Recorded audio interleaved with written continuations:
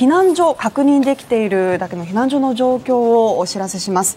震度7を観測した熊本県の益城町では確認できているだけで17カ所の避難所におよそ1800人が避難しています。主な避難所は保健福祉センター益城町役場総合体育館広安小学校グランメッセそしてこのほか広安西小学校広安愛知園飯野小学校益城町公民館飯野分館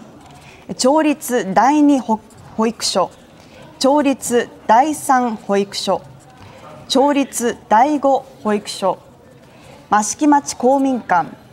益城幼稚園益城町公民館福田分館益城町公民館津森分館津森小学校こちらの17カ所で1800人が避難しています。